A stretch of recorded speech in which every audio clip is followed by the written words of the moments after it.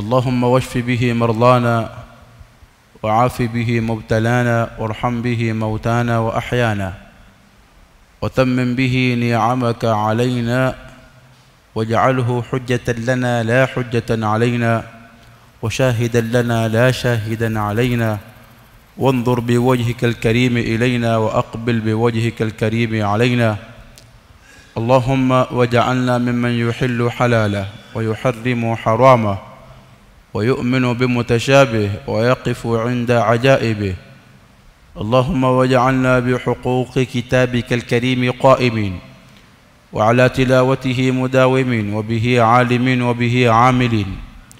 ومن الجفاء والاستخفاف والاستهزاء والصد عنه سالمين. اللهم اجعله لنا في الدنيا قرينا وفي القبر مونسا وفي القيامة شفيعا وعلى الصراط نورا. وفي الجنة رفيقا ومن النار سترا وحجابا. وإلى الخيرات كلها قائدا ودليلا برحمتك يا أرحم الراحمين. اللهم صل وسلم على سيدنا محمد الشجرة الأصل النورانية ولمعة قبضة الرحمانية وأفضل الخليقة الإنسانية وأشرف الصور الجسمانية معادن الأسرار الربانية وخزائن العلوم الاصطفائية. صاحب القبضة الأصلية والبهجة السنية والرتبة العالية من اندرجت النبيون تحت لوائه فهم منه وإليه. وصلي وسلم عليه وعلى آله وصحبه. عدد ما خلقت ورزقت وأمت إلى يوم تبعث من أفنيت. وسلم تسليما كثيرا.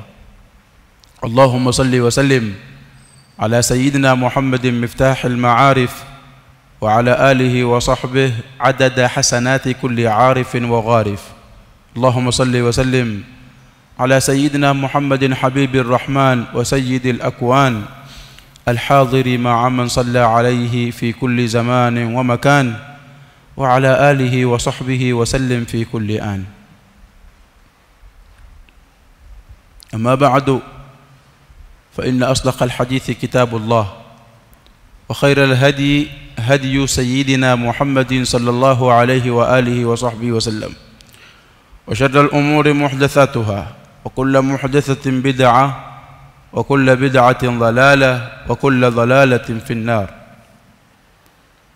يقول الله تبارك وتعالى أعوذ بالله من الشيطان الرجيم وإذ أخذنا ميثاق بني إسرائيل لا تعبدون إلا الله لا تعبدون إلا الله وبالوالدين إحسانا وذي القربى واليتامى والمساكين وقولوا للناس حسنا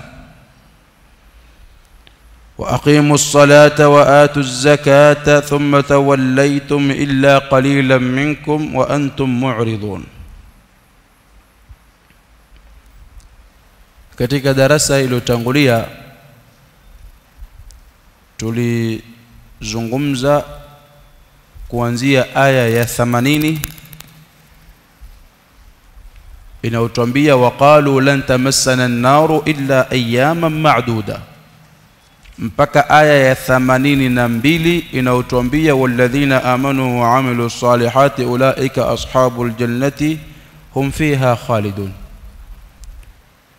tulizungumza katika darasa iliyopita aya hizo zinazotuzungumzia moja katika magurupu makundi ya Kiyahudi ambao miongoni mwao pana wale ambao walikuwa na itikadi kama hizi ya kwamba sisi hata kama tutachomwa siku ya kiyama hatutachomwa isipokuwa ni katika siku chache waqalu lan tamassana an-naru illa ayyaman ma'duda moto hautotugusa sisi isipokuwa siku chache siku 40 siku saba hakadha kwa tofauti ya maelezo. Mwenyezi Mungu Subhanahu wa Ta'ala akawauliza akimwambia bwana mtume Muhammad qul semba uwaambie attakhadtum inda Allahi ahada hilo la nyinyi kusema kwamba moto hautotugusa isipokuwa kwa siku chache mumelichukulia ahadi hilo kwa Mwenyezi Mungu? Wakati tulipokuwa tueleza haya katika baadhi ama katika jumla ya maelezo ya ulama watuambia waqalu qul qul attakhadtum inda Allahi ahda hilo la nyinyi kusema kwamba moto haututugusi isipokuwa siku chache tutatolewa motoni.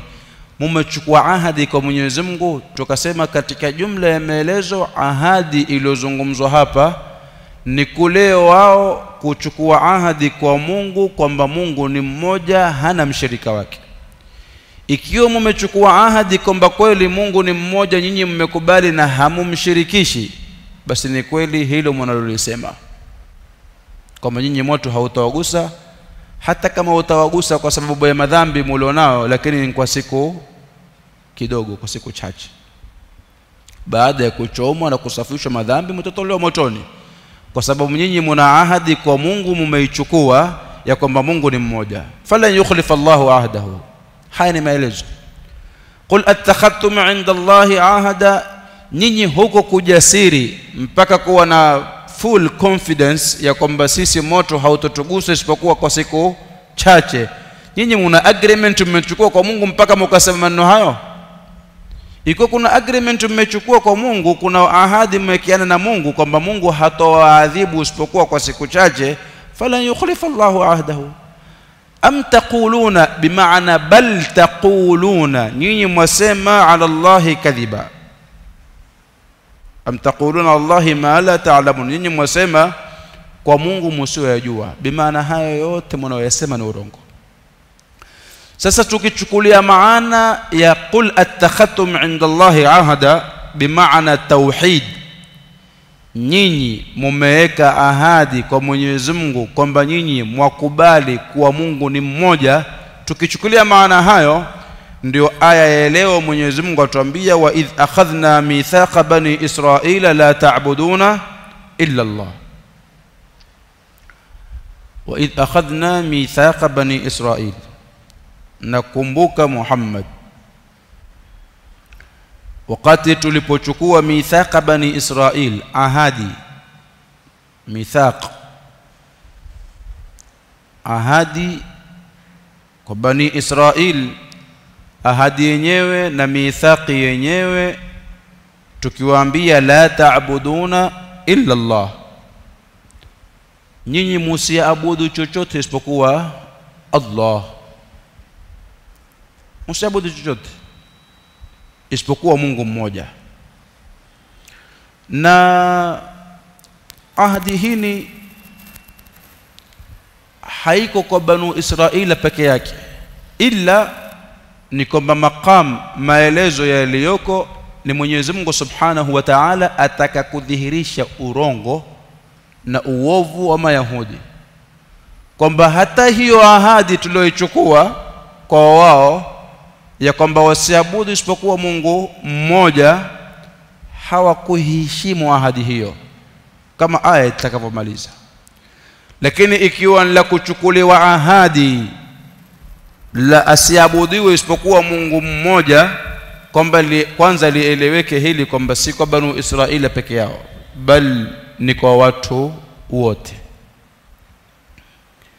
Mwenyezi Mungu Subhanahu wa Ta'ala azungumza katika suratul Anbiya aya ya 25 akisema wama arsalna min qablika min rasulin illa nuhi ilayhi annahu la ilaha illa ana fa'budun hatukumtuma kabla yako wewe Muhammad mtumi yoyote illa tukimpelekea wahi kwamba hakika ya mambo hakuna mola anayepasa kuabudiwa kwa haki ila mimi peke yangu ni abuduni kwa hivyo la kuchukuliwa ahadi kwamba kusiabudiwe Mungu isipokuwa Mungu mmoja peke yake si kwa banu Israila peke yao ni kwa watu kwa watu wote. Na ukitaka kulielewa zaidi hilo Mwenyezi Mungu Subhanahu wa Ta'ala wakati alipomuumba baba yetu Adam alayhi salam alitutoa mimi na wewe katika mgongo wa Adam mgongo wa baba yetu Adam yani watoto wa Adam wote kuanzia mtoto wake wa kwanza mpaka wa mwisho. Dhuria wote wakatolewa katika mgongo wa Adam wakawekwa katika kawanda. Na kawanda lenyewe walilowekwa ni kawanda la Arafa. Ile mithaq ya kwamba Mwenyezi Mungu atuuliza alastu birabbikum je mimi si mola wenu? Mtume Muhammad atuambia ilichukuliwa ahadi hiyo kwa dhuria wa Adamu wote walishuhudishwa binamana hapo Naaman Naaman bimaana katika uwanja wa Arafa wa ashhadahum ala anfusihim akawashuhudisha katika nafsi zao kwa nafsi zao wenyewe wakiri yani mimi wewe mwingine sote tukiri tukubali kwamba alastu bi mimi si mola wenu qalu wote wakasema bala kwani wewe ndiye mola wetu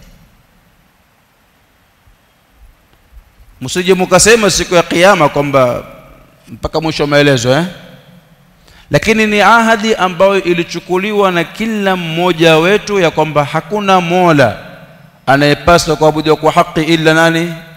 Ila Allah Mungu mmoja peke yake. Mtume sallallahu alayhi wa alihi wa sahbihi wasallam kama wanavyotuelezea ulama wa tauhid asema Mwenyezi Mungu hapo akatoa amri. Akasema usjudu sujuduni ikiwa mimi Mola wenu mumekubali mumekiri basi tekelezeni sijida. Atuambia watu wakagawanyika makundi mawili. Kundi la kwanza likasujudu kundi la pili asema likakataa kwa sujudu ilipotoka amri mara ya kwanza sujuduni watu wakagawanyika makundi mawili likasujudu kundi la kwanza kundi la pili likakataa kusujudu. Mwenyezi Mungu akatoa tena amri kwa mara ya pili tekelezeni sijida. Makundi haya mawili waliosujudu na waliokataa kusujudu yakagawanyika sehemu ngapi? Mbili. Itakuwa makundi mangapi? Manne sio lile la kwanza ambalo lilisujudu likagawanyika mara mbili. Pana wale ambao walisema kwamba sisi madamu tumetekeleza sijida mara ya kwanza. Na kwa nini tukatae mara ya pili? Mara ya pili pia wakafanyaje? Wakasujudu. Pana wale sema sisi tumetekeleza mara ya kwanza. Wenzetu wakakataa na hakuna lolote lililowapata. Haina haja ya kusujudu mara ya pili sisi kundi hili la pili ambalo lilikataa kusujudu nalo pia likagawanyika mara mbili. Kundi la kwanza pana lile ambalo lilisema kwamba sisi madamu hatukusujudu mara ya kwanza na mara ya pili pia hatusujudu. Kuna wengine wakajuta sema ah, sisi tulifuata upotevu tukakataa kusujudu kwa mara ya kwanza hebu hii mara ya pili nafasi hii situpite jamani wakasujudu. Hii pamoja na kuwa ina maelezo ya waliosujudu mara ya kwanza na mara ya pili ni wale ambao huzaliwa hali ya kuwa wao ile ahadi ya kwamba Mungu ni mmoja huwa wanao kutoka kuzaliwa kwao mpaka kufa kwao. Allahumma ja'alna minhum. Mwenyezi Mungu katika hao wale ambao walisujudu mara ya kwanza wakakataa mara ya pili ni wale ambao huinuka wakainukia na ahadi ya kwamba Mungu ni mmoja Mungu ni mmoja Mungu ni mmoja ni waislamu lakini mwisho mwisho wa umri wao hubadilika. Waliyadhu billah. Wakageuka wakaritadi wakafuata dunia mwisho wao wakaondoka duniani wao na Mungu wameteta wale ambao walisujudu mara ya kwanza wale ambao walikataa kusujudu mara ya kwanza lakini mara ya pili wakafanyaje? Wakasujudu. Ni wale ambao wao huinukia na hali ya kuwa hawamjui Mungu, si Waislamu, lakini huja ile nur ikamulika katika nyoyo zao. Mwenyezi Mungu Subhanahu wa Ta'ala akakundua vifua vao kwa kuona haki. Wao walikuwa na msimamo ya kutosujudu mara ya kwanza na mara ya pili, ni wale ambao huzaliwa wao ni vipofu, hawakuona haki ya kwamba Mungu ni mmoja kutoka kuzaliwa kwao mpaka kufa kwao. Lakini ufupi wa maelezo ni kwamba ahadi ya Mola Subhanahu wa Ta'ala ya kushuhudisha watu ya kwamba yeye ni Mungu mmoja na akachukua ahadi kwa wao katika hilo, watu wasimshirikishe yeye, yeye ndiye peke yake wa kuabudiwa. Hakulichukua hilo kwa Banu Israila peke yake. Mwenyezi Mungu amechukua hilo kwa kila kiumbe.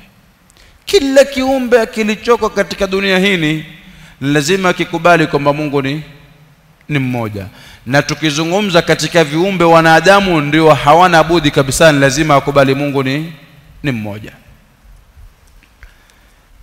Hili la kuchukuliwa ahadi kwamba Mungu ni mmoja ndiyo Mwenyezi Mungu Subhanahu wa Ta'ala akawatuma mitume alayhi salam, wama arsalna min qablika min rasulin illa nuhi ilayhi annahu la ilaha illa ana fa'budun wama arsalna min qablika min rasulin illa nuhi ilayhi annahu la ilaha illa ana fa'budun. Akawatuma mitume alayhi salam kuja kuwafahamisha watu kwamba yeye jamani, kuna ahadi, kuna agreement sisi tumechukua na nani? Na Mungu. Agreement yenyewe yasema kwamba hakuna Mungu anayepasa kuabudiwa kwa haki ila Mungu huyu mmoja peke yake, la tushriku billahi shay'a, msimshirikishe Mwenyezi Mungu na chochote. Kwa sababu ya ahadi hiyo ndiyo kukapatikana miujiza yote ya mitume alayhimu salam miujiza yote ya mitume alayhimu salam iliyopatikana kwa mitume ni kuthibitisha hii ahadi ya kwamba Mungu ni huyo. Ah, sisi tutakwamani vipi kwamba wewe umetumwa na Mungu mmoja? Vipi sisi tutaamini kwamba Mungu ni mmoja? Hebu tuthibitishie mwanzo kwamba wewe umetumwa na huyo Mungu mmoja, ndio hutoka ile miujiza. idhrib biasaka alhajara, eh, tia mkono wako katika jaybika takhruj baydaa min ghairi su'in ayatan ukhra linuriyaka min ayatina alkubra idhhab ila fir'auna innahu tagha. Sayyidina Saleh alayhi salam apate miujiza ya kutoa ngamia katika tundu ambao si rahisi kutoka ngamia. Faqala lahum rasulullahi naqata Allahi wa suqiyaha yote miujiza iliyopatikana mpaka kwa bwana mtume Muhammad alayhi salatu wasalam. Sisi hatukuamini wewe mpaka utuitie ule mti uje hapa, ndio tukwamini kwamba ni mtumi kweli, umetumwa na Mungu huyo, Mungu mmoja. Mwenyezi mtume aambia mti njo mti ukatambatamba mpaka kwa bwana mtume Muhammad. Hatukuamini kwamba ni mtume umetumwa na Mungu mmoja mpaka utuoneshe, utupasulie mwezi vipande viwili iqtarabati saatu wanshaqa alqamar wa in yarau ayatan yu'ridu wa yaqulu sihrun mustamir. La msingi ni kwamba mitume wote walitumwa na ikawa kazi yao ni kuthibitisha ahadi hini ambayo watu wameichukua toka katika alamul ghaib, ulimwengu wa ghaib, tulipokuwa hatujielewi hatujifahamu kuja kuthibitishiwa hilo katika alamu shahada, ulimwengu huu ambao twaishi, kwamba yale ambayo tuliyozungumza hata kama hatuyakumbuki, Mwenyezi Mungu amefunga huja katika alamu shahada, ulimwengu hunu tulioko sasa hivi, ya kwamba kuna mitumi amewatuma.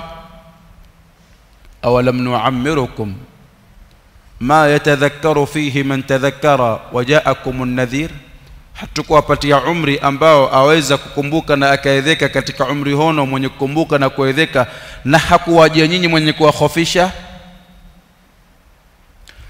Kwa sababu ya ahadi hili kwa sababu ya ahadi hii ya kwamba sisi tulichukua ahadi agreement ya kwamba Mungu ni ni mmoja ndio kukapatikana watetezi katika ulama ambao wao watakuwa wamespecialize katika ilmu inayojulikana kwa ilmu al-kalam ama ilmu at-tauhid.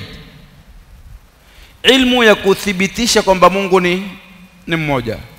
Ndizo zile dalili ambazo kwamba zazungumzwa. Afala yandhuruna ila al-ibli kaifa khuliqat wa ila as-samai kaifa rufi'at wa ila al-ardi kaifa sutihat wa ila al-jibali kaifa nusibat wa ila al-ardi kaifa sutihat fadhakkir inma anta mudhakkir hawatizami basi hao ikiwa wao hawaamini kwamba Mungu ni mmoja na yanguke nyinyi mwaziona bighairi amadin tarawnaha bal Mwenyezi Mungu wakati akizungumza hizi aflak azungumza mwezi azungumza jua aizungumza azungumza hizi kawakib nyota sayara hizi ardhi.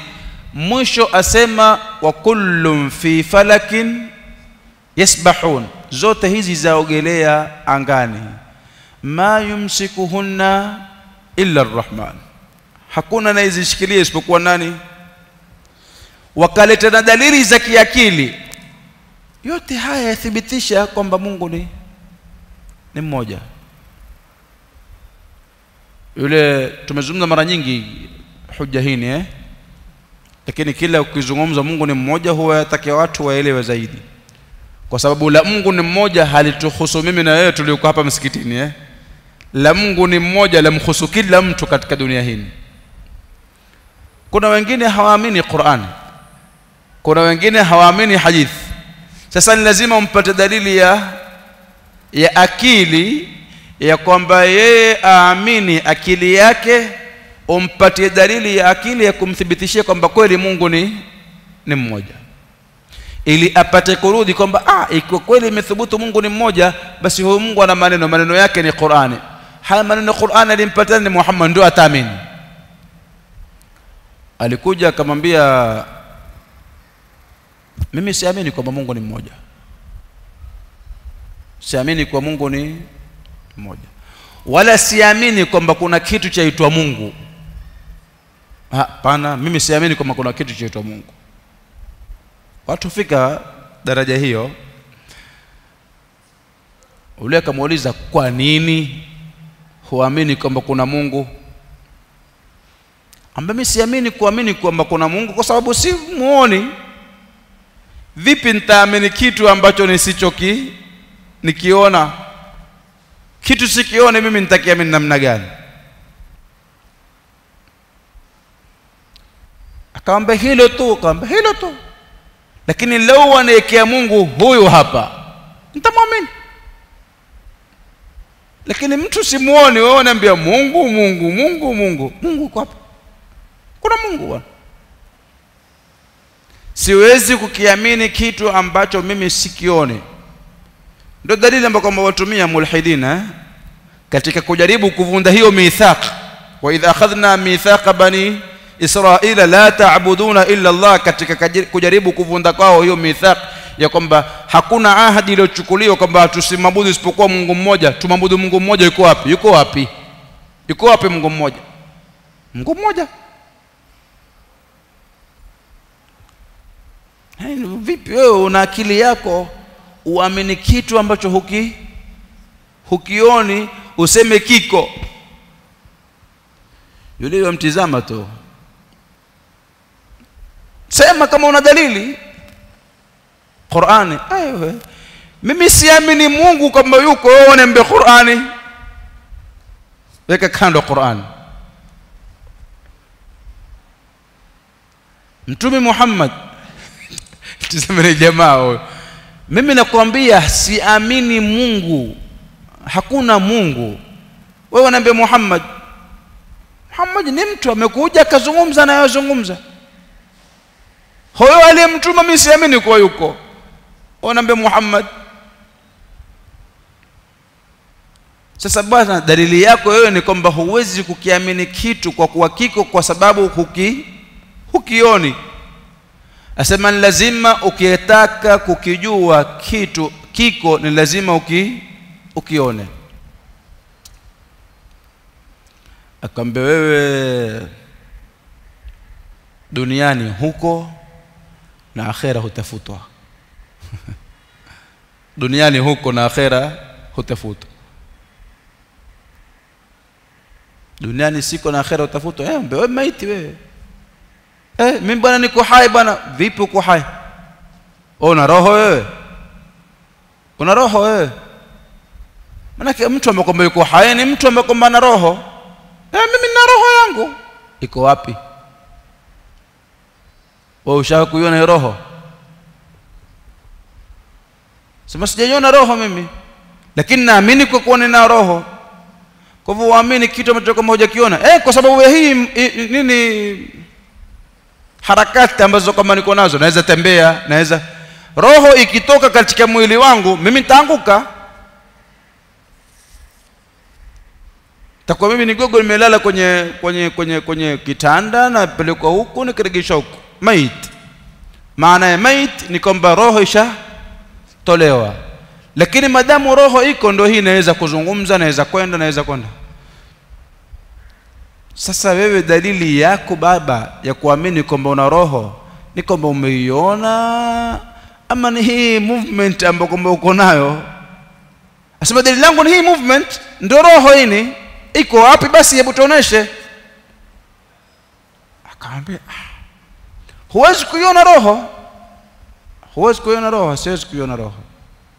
Kwa hivyo roho hakuna. Vipi roho hakuna bana? Mimi nakwambia na roho yangu mpaka waswahili wakwambia roho mtamu sio? Iko wapi? Dalili yangu ya kwamba roho iko na niko nayo ni hii movement. Kwa hivyo hujawahi kuiona? Sijawahi kuiona. Lakini waamini kwamba yuko asema. Basi ikiwa wewe waamini movement ya mwili wako kukiamini kitu kiko kwamba hujaki hujakiona kwa sababu waweza kufunga macho waweza ukafungua waweza ukasema waweza ukala waweza ukanywa. Hii harakati ya mwili wako ya kupatia imani ya kwamba roho iko ndani ya ya mwili wako na hujawahi ku, kuiona hata siku moja. Yani huku kuingia usiku na kuingia mchana na hii ardhi ilivyotandika na mbingu zilivyoinuka hii haitoshi ni movement ya kukujulisha kwamba mungu yuko si kama tumeelewana? Hii movement ya dunia inavyokwenda haitoshi kukuwa dalili ya kukujulisha kwamba kuna mungu ameumba haya ambaye yeye ndiye badiu samawati wal ardh. Yeye ndiye khaliqu samawati wal ardh. Zikaja zote hizi kuthibitisha haya. Kuthibitisha kwamba Mungu yuko na ni mmoja na alichukua ahadi kwa watu wote kwamba Mungu ni mmoja. Alastu birabbikum je mimi si mola wenu si mlezi wenu? Qalu bala. Watu wote wakasema bala. Katika jumla ya watu walioshiriki ahadi kwa Mola subhanahu wa ta'ala kwamba wao hawatoabudu kitu kingine chochote isipokuwa Mungu huyu mmoja miongoni mwao ni banu Israil mayahudi Mwenyezi Mungu asema wa idh akhadhna nakumbuka wakati tulipochukua mithaqa bani Israil ahadi ya bani Israil ahadi yenyewe alla ta'buduna illa Allah musiabudu nyinyi kwamba hakuna kitu kingine mutakachokiabudu isipokuwa nani? Allah peke yake. Mosi. Ahadi hii Mwenyezi Mungu Subhanahu wa Ta'ala alichukua kwa Banu Israili. Baadhi ya ulama wazungumza kwamba ahadi yenyewe Mwenyezi Mungu Subhanahu wa Ta'ala aliichukua kwa wao wakati walipokuwa wametaka kwa Sayyidina Isa alayhi salam awateremshie meza kutoka mbinguni iliyo na vyakula tayari juu yake أنزل علينا مائدة من السماء تكون لنا عيدا لأولنا وآخرنا sisi hatuwezi kuamini Isa kwamba wewe ruhullah ruhullah tuteremshie meza kutoka mbinguni iliyopakata mapochopocho sampuli mbalimbali Nabii Isa alayhi salam akamlekea Mwenyezi Mungu Allahumma rabbana anzil alaina ma'idatan minas sama takunu lana 'idan li awwalina wa akhirina wa ayatan minka warzuqna wa anta khairur منزلها ilaykum Mwenyezi Mungu akamwambia mimi nitaiteremsha. Lakini atakayekanusha baada ya hapo ndo ahadi ikachukuliwa.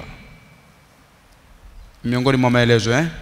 Lakini ala kulli hal ni kwamba Mwenyezi Mungu alichukua ahadi kwa wao kwamba nyinyi mtawafanyia haya mnaoyataka ikiwa ni kuwateremsha meza ikiwa ni kuwapatia manna na salwa ikiwa ni kuwapasulia bahari ikiwa ni kuwafinika kivuli ikiwa ni kuwapasulia mito kumi na mbili ikiwa ikiwa itakavyokuwa. Lakini ahadi ambayo tutaka kuichukua hapa musiabudu chochote isipokuwa Mungu huyu mmoja. La taabuduna illa Allah mosi. Steji ya pili wa bil walidaini ihsana bimaana wa idh akhadhna mithaqa bani israila an tuhsinu bilwalidaini ihsana. Tulipochukua ahadi kwao mara ya pili kwamba na wazazi wawili muwatende wema. Na hii Mwenyezi Mungu Subhanahu wa Ta'ala pia hakuichukua kwa Banu Israila peke yao. Bal Mola Subhanahu wa Ta'ala amehukumu kwa watu wote. Kama vile alivyohukumu asiabudiwe isipokuwa yeye peke yake kusiabudiwa chochote kwa, kim, kwa mtu yoyote ila kumwabudu Mungu huyu mmoja kama alivyolihukumu hilo pia amehukumu kwa watu wote kwamba wazazi wawili ni lazima wawatendee wema. Haijalishi wewe uko na umri gani haijalishi wewe uko na cheo gani. Haijalishi wewe uko na pato gani. Madamu ni mtoto ni mtoto una wazazi wangapi? Wawili. Haijalishi wakiwa wako hai bado ni wazazi. Haijalishi ikiwa wameondoka duniani bado ni wazazi wawili. Ihsani ya mtoto kwa wazazi wake haikatiki kwa sababu wako hai wala haikatiki kwa sababu wale wazazi wamfanyaje? Wamekufa. Ulazima wa kuwafanyia wazazi wawili ihsani yabakia ulazima wake kwa kuwa ni lazima uwatendee wema wakiwa wako hai ni lazima uwatendee wema wakiwa wameondoka. Ulazima hono wa kuwafanyia wema wazazi wawili haijalishi wao ni waislamu wala haijalishi kwamba wao ni wakristo ama ni wa dini nyingine yoyote. Madamu wana sifa ya uzazi kwamba wao ni wazazi wawili. Ila sehemu moja peke yake. Ndio umeambiwa hapo usishiriki. Wa in jahadaka. Aha. Ala an tushrika bi ma laysa laka bihi ilmun fala tuti'huma wakikulazimisha unishirikishe mimi Mola wako. Ay, hapo sikubali. Eh nisikubali kwa njia gani? Niwarukie mpigane na wao. Wasahibhuma fi dunya maarufa duniani hapa ishi na wao kwa uzuri. Madamu ni wazazi wawili. Ndio uislamu. Uislamu baada ya kwamba ukuthibitishia kwamba Mungu ni mmoja na uislamu ukwambia wazazi wawili ni wazazi wawili. Wabilwalidaini ihsana. Kama tulivyosema wewe kijana haijalishi una umri gani ndo watendee wazazi wawili wema. Yani heshima yako kwa wazazi wako haijalishi umri wako. Inshallah wewe uwe waitwa babu. So babu jina babu bimaana alkalima bimaana umeoa ukazaa uliyemzaa na yeye ameoa ama ameolewa na yeye akafanyaje? Akazaa. Inshallah huo huitwa babu. Lakini madamu una watu waliokuzaa basi jue kwamba wewe kwa wao ni kijana wao ni lazima uwatendee wema. Kama tulivyolieleza kwamba wazazi wawili kuwatendea wema haina maana kwamba wakiwa hai ndio watendee wema wakifa mambo yamekatika la hasha wakali. Na ulazima wa kuwatendea wema haijalishi wawe katika uislamu. Ulazima wa kuwatendea wema ni ulazima ambao utabakia kwamba ni lazima uwatendee wema wakiwa ni waislamu wakiwa si si waislamu. Ahadi hii ilichukuliwa na Mwenyezi Mungu Subhanahu wa Ta'ala pia kwa Banu Israili hasa yalipotokea yale yaliyotokea mpaka kukaja kiswa cha ng'ombe. Wazazi wawili waliokuweko mmoja akiwa ana mali hakupata kizazi yani hakuzaa. Mwingine akawa ana kizazi amezaa watoto chungu mzima lakini Mwenyezi Mungu hakumpatia bahati ya kupata mali. Huyu ana mali huyu ana watoto. Huyu mwenye watoto akaondoka mbele duniani. Akaondoka mbele duniani. Akabakia yule mwenye mali ambaye hana nini? Hana watoto. Atakuwa nani yao huyo ni ammi yao. Tabban liman lam yahtarim amman wala khala. Mwana kuangamia ni mal'un yani amelaaniwa mtu ambaye hamuheshimu ammi yake wala mjomba wake. Warabu kwambia alkhalu walid mjomba ni mzazi. Ammi yako ni babako mjomba wako ni mamako. Hasa ikiwa wewe huna heshima na ammi yako huna heshima na na, na, na mjomba wako wewe umeangamia una laana. Tumeelewa eh? Hao vijana wakawamtizama wale ammi yao huyu ammi ana mali. Huyu ammi umri wake umesonga. Ile wabilwalidaini ihsana kwa wao ika ikapotea. Wakampangia njama yule ammi wakaenda wakamuua. Na baada ya kumuua wakawa wajipretend kwamba wao wataka haki wajifanya kwamba wataka haki wataka kujua nani aliyemuua ammi yetu.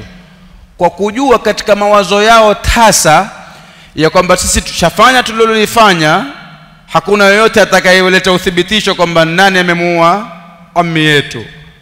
Hisabu za siku ya kiyama huko baadaye lakini hawakujua maskini ya Mungu kwamba Mungu aweza kufanya mambo hapa duniani ya kiajabu na hashindwi nalo lote kulifanya idhbahu baqara e Musa atatakhidhuna huzwa qala a'udhu billahi an akuna min aljahilin basi innal baqar tashabaha alaina wa inna insha Allah wakaelezewa mpaka mwisho wakachinja ng'ombe na wakampiga piga nyama yake baadhi ya ule maiti akainuka ule ammi alipoinuka akaulizwa man qatala akasema oh, hawa ndio wamenuua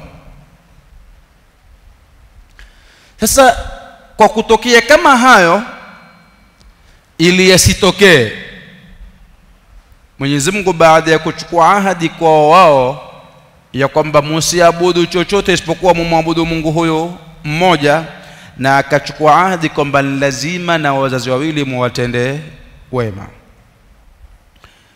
Na Mwenyezi Mungu hili amelizungumza kwa watu wote. Hapa azungumza makamu kwa banu Israil lakini na azungumza makamu hayo pia kwa watu wote akituambia wa qadha rabbuka alla ta'budu illa iyyahu wa bilwalidaini ihsana wadhil qurba si wazazi wawili tu kuwatendea wema bal na wenye ukaraba na wewe yani watu wako wa karibu Mtume sallallahu alayhi wa alihi wa sahbihi wasallam katika hadithi iliyoko katika sahihain Sayyidina Abdullah ibn Mas'ud asema qultu ya Rasulullah ayyul amali afdalu ni amali gani bora zaidi qala as-salatu ala waqtiha ni kusali swala katika wakati wake wakati wa swala ukiingia swali ndio bora wa amali la kuthibitisha kwamba katika maisha yako wewe kwanza nani kwanza Mungu bimaana as-salatu ala waqtiha bimaana kwanza Mungu wa idha akhadhna mithaqa bani israila la ta'buduna illa Allah wa qadha rabbuka alla ta'budu illa iyyahu hasa ukiuliza ayu amali afdalu kam as-salatu ala waqtiha kusali swala katika wakati wake qultu سيدنا عبد الله بن مسعود أسمى نكسيما كمولجتين بنا متوب محمد عليه الصلاة والسلام.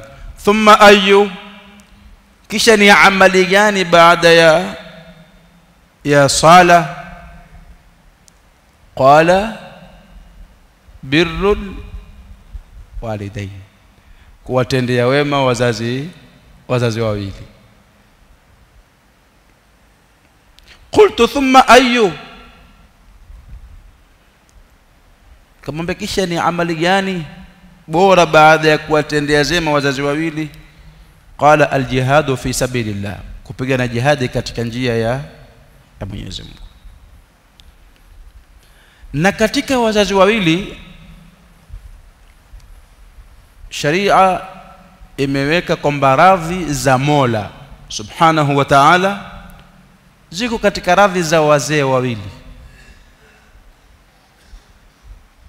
ridha Allah fi ridha alwalidaini wa sakhtu Allah fi sakhatihima radhi za Mungu ziko katika radhi za wazazi wawili na hasira za Mungu ziko katika hasira za wazazi wawili al-Imam Sayyidi Abdullah bin Alawi ibn Muhammad al-Haddad Ba'alawi alayhi rahmatullah katika kitabu ad-da'watu tamma wakati akizungumza haqqul aba 'ala al-abna haki za wazazi kwa wa, kwa watoto.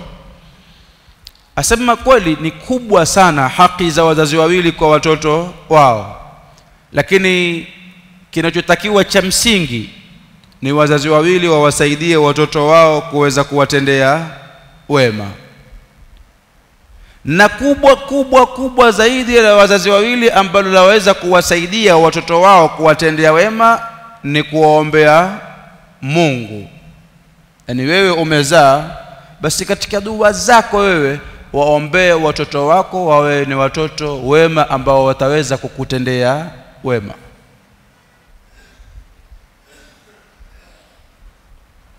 Wakati Mola Subhanahu wa Ta'ala akizungumza sifa za waja wema وعباد الرحمن الذين يمشون على الأرض هونا وإذا خاطبهم الجاهلون قالوا سلاما والذين يبيتون لربهم سجدا وقياما.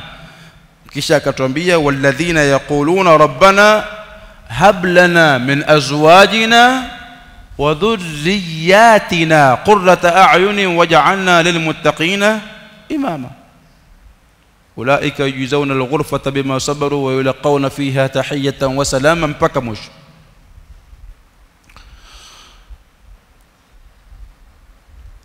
Wazazi wawili radhi za Mola ziko katika radhi zao. na hasira za Mola ziko katika hasira zao. Na wazazi wawili wametofautishwa kati ya mama na baba. Cheo cha mama kiko mbele kuliko cheo cha baba imekuja katika hadithi sahihi. Pana bwana mmoja katika masahaba alimwambia bwana mtume Muhammad alayhi salatu wasalam ya rasulullah nani ambaye nafaa nimtendee wema zaidi?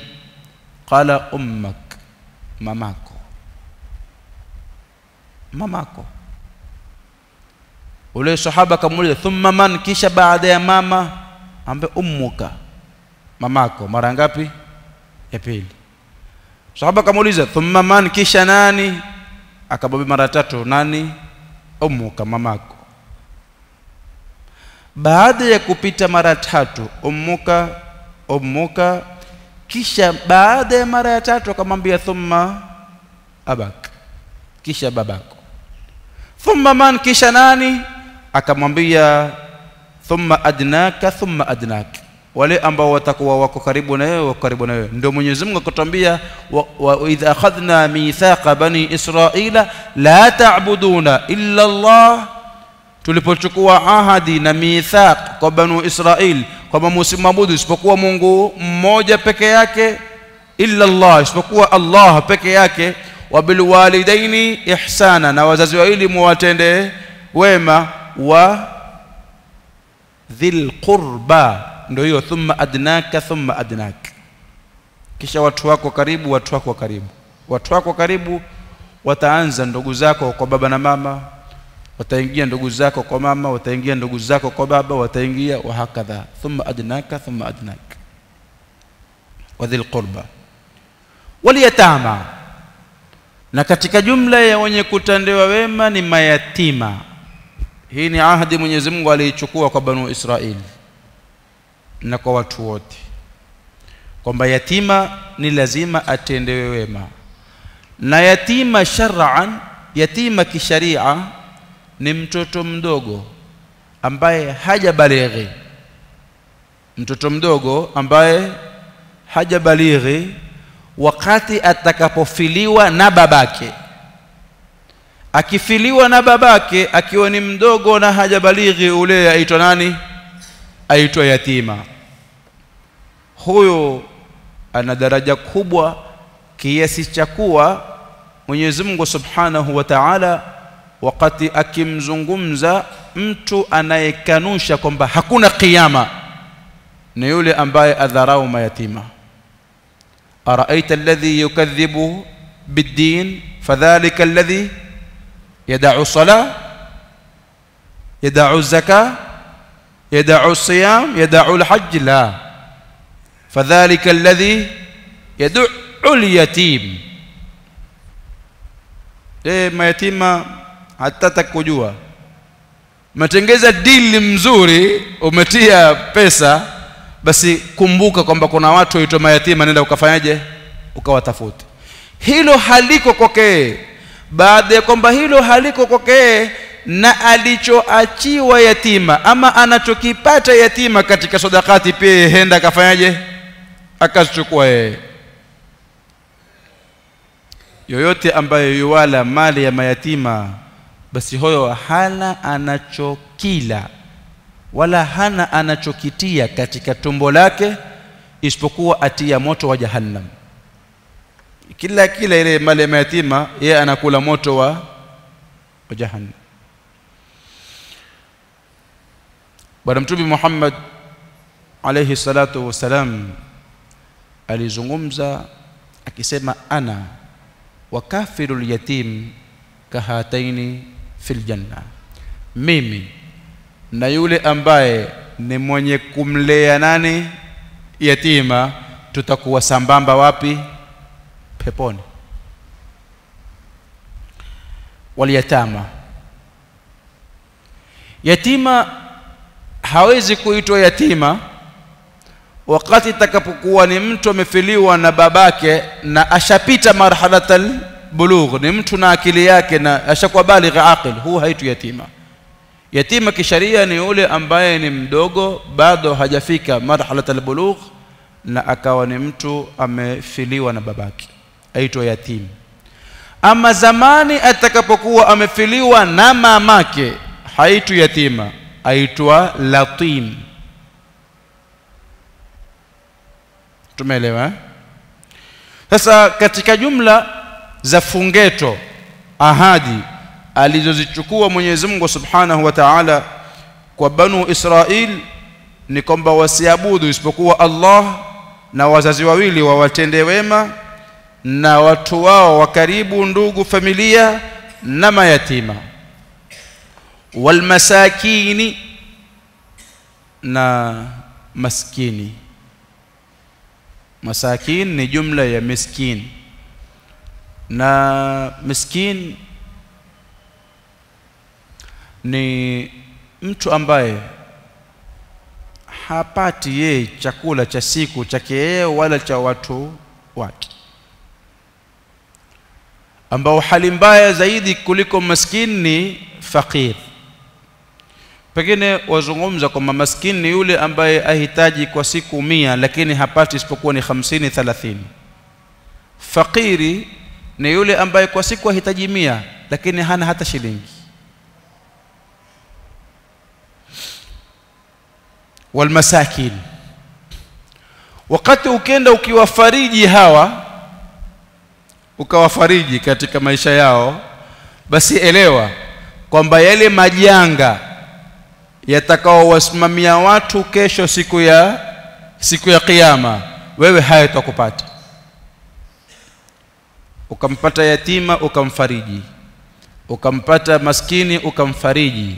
Basi elewa ya kuwa yale majanga yatakaowapata watu kesho siku ya kiyama wewe hayatakufanyaje hayatakupata bwana mtume Muhammad sallallahu alayhi wa alihi wa sahbihi wasallama atuambia katika hadithi wa man farraja an muslimin na katika mapokezi mengine an akhihi kurbatan min kurabi dunya farraja Allahu anhu kurbatan min kurabi yaum alqiyama yoyote ambaye atamfariji nduguye mazito matewengo majanga. Katika majanga mazito matewengo ya kidunia ukamfungulia mtu akapata wepesi basi elewa ya kwamba na yeye Mungu atamfarijia matewengo na mazito na majanga katika majanga na matewengo na mazito ya siku ya ya siku ya kiyama. Walmasakin waqulu linnasi husna na tukawaambia katika ahadi muwaambie watu maneno mazuri. Wale watu wa peponi Allahumma ja'alna minhum Mwenyezi Mungu ajalie katika wao. Watakapokuwa wametoa peponi malaika watakuwa wakiwapitia wakiwaambia salamun alaikum tibtum amani iwe juu yenu nyinyi mmekuwa wazuri. Tibtum wakati ukienda katika maelezo ya bwana mtume Muhammad maelezo ya masahaba walioyanukuu kwa bwana mtume Muhammad maelezo ya ulama walioyapata mpaka it...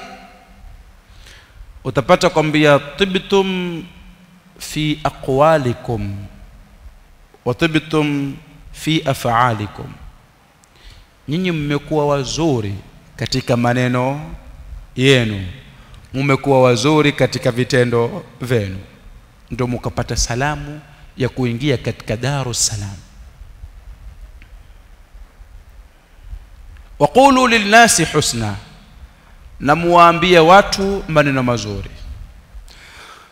Mwenyezi Mungu Subhanahu wa Ta'ala hapa hakuwaambia banu Israil na hakutuambia sisi sote kwamba waqulu lilmu'minina husna wala hakutuambia waqulu lilmuslimina husna mwambieni waislamu maneno mazuri wala hakutuambia waambieni waumini maneno mazuri wala hakutuambia waambieni wenye kuswali mulionao misikitini maneno mazuri. Bal Mwenyezi Mungu asema waqulu linnasi waambieni watu kila ambaye ni mtu katika watu wewe wakati ukizungumza na yeye chunga ulimi wako zungumza na yeye kwa maneno yaliyokuwa mazuri. Maneno tamu. Kuna mtu milionea lakini mke nyumbani akawa alalamika kupita kiasi. Vipi mama?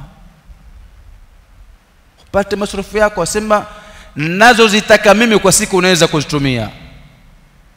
Nachokitaka naweza kukipika. Nachokitaka naweza kukinunua. Nachotaka mimi naweza kufanya chochote. Mali yako pesa ziko. Si shida pesa.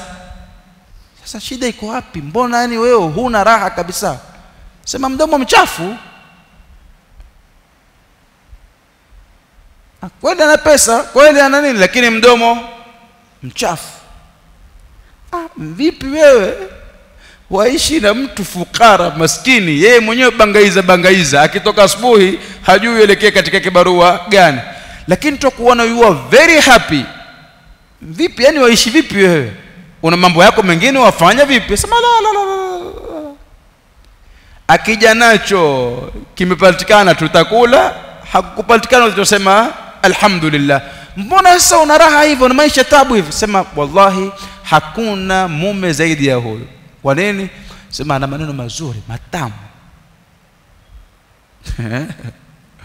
Waqulu linnasi husna. Mbona wewe umekwenda kule na mlemba mlemba wako na madevu madevu yako ukakubaliwa kuingia kuzungumza na wale mbona sisi tuko hapa na tujulikana kwamba mashekhe ni sisi hapa? Mbona sisi kule hatukubaliwi? Sema sitatafuta kitu kimoja tu peke yake. Kwa sababu nyinyi mkwenda kule mwazungumzia moto tu. Nyinyi mkifika kule mwataka vile viti vao walivyo ndipo mnavyotaka nyinyi. Lakini sitafuata ile sunna ya bwana mtume Muhammad. Ud'u ila sabili rabbika بالحكمة والموعظة الحسنة. وجادلهم بالتي هي أحسن. وقولوا للناس حسنا وأنبيني واتو منينو مزوري. مريفو eh? حيا كتك منينو. إلبقوة يتكيوا كباتكان مزوري كتك فيتينو. Mwenyezi Mungu Subhanahu wa Ta'ala akaeka lazima asema waaqimu ssalata wa atu zakata. Bimaana ikiwa maneno yatakuwa mazuri na matendo yatakapokuwa mazuri na ikiwa haiwezekani isipokuwa kwa njia ya lazima mpaka kupatikana vitendo vizuri basi nalazimisha. Simamisheni swala na mutoe zaka. Ili kupatikane kutangamana kati ya matendo mazuri na maneno mazuri. Kuna mazuri zaidi ya haya msiabudu isipokuwa Mungu mmoja. Wazazi wawili muwatende wema. Muungane kizazi watu wako wa karibu. Mayatima musiwasahau wasije wakaishi randaranda. Eh? masakini musiwasahau mwende mkawafariji kila utakayezungumza naye katika watu waambieni watu maneno mazuri nikisha mrudi kwa Mola wenu msimamisha swala na mutoe zaka. Kutabakia ufisadi kweli? Yakipatikana miongozo kama haya. Lakini banu israila yote hayo waliyaweka min warai hijab. Waliyaweka nyuma ya migongo yao wakayakataa. Mwenyezi Mungu asema thumma tawallaitum mukapata mukapatia mgongo. Yani mukayapatia mgongo hayo mukayakataa illa qalilan minkum wa antum mu'ridun ثم توليتم معرضون ثم توليتم إلا قليلا منكم وأنتم معرضون mkayakataa hayo mkayapatia mgongo isipokuwa wachache bimaana huku kukataa yote haya kwamba Mungu si mmoja wazazi wawili wavundiwe heshima hakuna masala ya kusaidiana ndugu hakuna cha yatima wala cha maskini hakuna cha kusimamisha swala wala kutoa zaka si wote katika mayahudi waliokataa. Pana watu katika mayahudi walikuwa wazuri pana wengine walikuja wakaingia katika uislamu wakamwamini bwana mtume Muhammad mfano wa sayyidina Abdullah ibn Salam na wengineo ambao wamezungumzwa. Lakini wengi katika wao waliyekataa wakawa watamshirikisha Mungu wazazi wawili wakafanya takataka hakuna kuungana kizazi mayatima wakawasahau wakawadharau maskini yakatengwa katika jamii ikawa hakuna cha swala ya kuswali kumwabudu Mungu wala hakuna cha zaka za lazima. Wakayakataa hayo. Na kama wao walivyoyakataa hayo Mwenyezi Mungu Subhanahu wa Ta'ala akawalaani na yoyote katika ummati Muhammad atakayefanya mfano walioyafanya wao wa kukataa kwamba Mungu ni mmoja na kukataa kuwatendea wazazi wawili wema na kukataa kuunga kizazi na kukataa kuwatendea wema mayatima na kusaidia maskini na ikawa mdomo mtu mchafu hana maneno mazuri haswali hatoi zaka hoyo atakuwa moja kwa moja ni gurupu katika magurupu ya kiyahudi yaliyolaaniwa Mwenyezi Mungu Subhanahu wa Ta'ala atuwafikie atupatie duniani mazuri na akhira mazuri na atuokoe na adhabu ya moto اللهم أخرجنا من ظلمات الوهم وافتح علينا بمعرفة العلم وزين أخلاقنا بالحلم برحمتك يا أرحم الراحمين يا أرحم الراحمين يا أرحم الراحمين فرج عنا وعن جميع المسلمين. والسلام عليكم ورحمة الله تعالى وبركاته. والعفو منكم. njo adhana baada ya adhana tutie fatiha tukamilishe darsa tu, tu, nini adhana yazee atupatie duniani mazuri na akhira mazuri بنية الفتوح ومنوح صلاح الجسد والروح. نختم بها وإلى حضرة النبي سيدنا محمد المصطفى الفاتحة.